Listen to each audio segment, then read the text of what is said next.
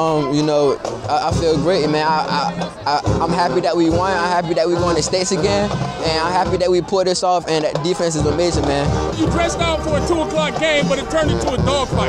Talk about this game and how it, it evolved into you guys winning.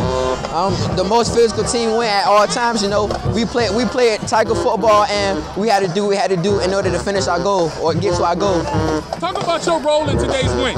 Um, I know the team needed me, and I know I need to put the team on my back and put my put the community on my back and just do it for them and go get this ring. Speaking of community, uh, four, five, and six will be represented by 757, Lake Taylor, Maury, and you guys. What does that say about the talent level in this area?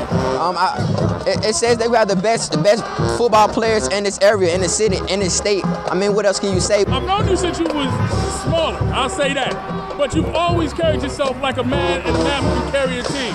What does it mean for you personally make it to a state championship, being that the team really leaned on you to get them over the hump? It means a lot, you know. I've been doubted all my whole life, you know. People looked over me my whole life, and now I done had a chance to come out and show what I can do and lead this team, lead this team to a state championship. And now it's my time and the, the football team to take it.